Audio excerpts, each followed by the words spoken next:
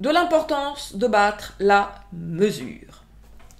Battre la mesure, c'est pas taper du pied de manière erratique et parfois complètement à côté de la plaque. En plus, quand tu joues en groupe, quand tu tapes du pied, enfin moi ça m'a toujours déstabilisé de jouer avec un guitariste ou un, ou un pianiste euh, ou un saxophoniste, enfin peu importe.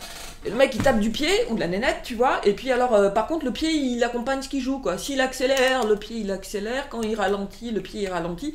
C'est pas ça, battre la mesure. La mesure, battre la mesure, c'est inculquer à son corps, à son ressenti, une pulse stable. Battre la mesure type, euh, entre guillemets, classique, euh, enfin la mesure à l'ancienne, je sais pas comment on dit.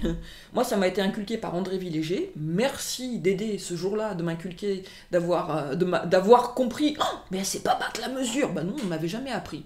Et alors, mais c'est génial. Moi, ça m'a transformé la vie. Hein. Battre la mesure en 4-4. 1 en bas, 2 à gauche. Hein. C'est à l'envers sur les, le truc. 3 à droite, 4 en haut. 1, 2, 3, 4. 1, 2, 3, 4. Pourquoi est-ce que c'est important? C'est important à deux niveaux. En battant la mesure, on a une spatialisation du temps qui passe. Si vous battez du pied ou si vous faites ça, au bout d'un moment, le 1, le 2, le 3, le 4, on peut manger un temps, rajouter un, deux, tu sais pas où tu en es. Or, quand on est dans une musique aussi codifiée que la musique occidentale, euh, on joue avec une mesure. Une mesure. C'est comme quand tu fais un cake, tu vois, tu prends euh, bah, deux mesures de farine, trois mesures de sucre, ou l'inverse. Bref, là on a de la mesure. Bien souvent, on joue sur des mesures à quatre temps. Trois temps, deux temps, mais voilà, on est sur du binaire, bien souvent. Donc, important d'avoir cette relation à la spatialisation du temps qui passe. C'est hyper important, vraiment. Parce que sinon, tu tapes du pied, tu sais plus trop où t'en es.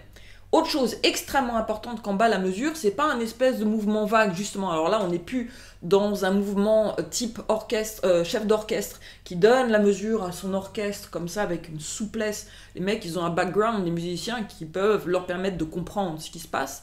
Là, ce qui est important, c'est donner un à-coup au moment où on matérialise le temps. Dans son poignet, on donne un à-coup. Paf, paf. Parce que non seulement là, on a une spatialisation de la, du temps qui passe, mais en plus, on indique à son corps par un petit impact euh, musculaire et osseux, c'est là, c'est là, c'est là, c'est là. Comment est-ce qu'on peut s'entraîner à battre la mesure? Au départ, pareil, je parlais dans la séquence méthodologie, donc la vidéo dièse 7, euh, d'une certaine méthodologie et donc, par oui, évidemment, d'une fragmentation du travail. Donc, au lieu de commencer à battre la mesure, euh, bon, déjà, battre la mesure quand on joue, c'est, euh, on peut le faire en jouant tapping sur la main gauche, bon, voilà. On met un morceau de musique, on bat la mesure sur le morceau de musique. On peut dire 1, 2, 3, 4, Ensuite, on met le morceau de musique qu'on aime bien, dont on connaît la mélodie par cœur et qu'on peut chanter. On bat la mesure et on chante la mélodie avec le, euh, playback derrière. On bat la mesure avec le métronome, on chante la mélodie sans le playback derrière, et on voit où est-ce qu'elle est notre régularité, où est-ce qu'elle n'est pas notre régularité. On a une lucidité sur ce qu'on est capable de produire ou pas, et on va décider de mettre en place tout un processus pour muscler cette compétence qui est pour le moment atrophiée. Battre la mesure permet de développer sa solidité, sa stabilité et sa pulsation intérieure, mais battre la mesure en donnant un petit coup au moment où on matérialise le temps. Voilà. On n'est pas obligé de faire des grands mouvements, on peut le faire de manière très discrète. Le truc étant de donner de euh, l'indépendance par rapport à la pulse. ok? Et surtout de commencer à l'acquérir de l'intérieur. C'est super important si on veut être régulier.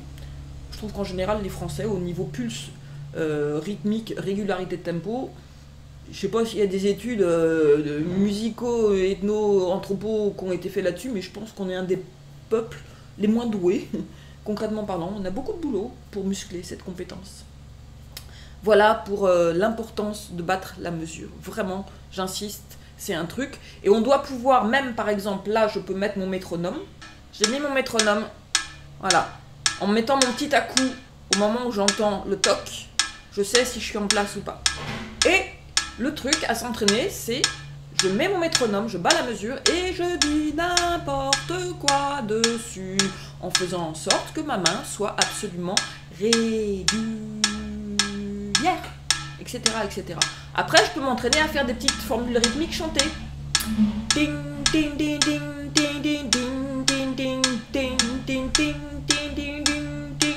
Voilà, vous prenez un bouquin de solfège rythmique type Agostini.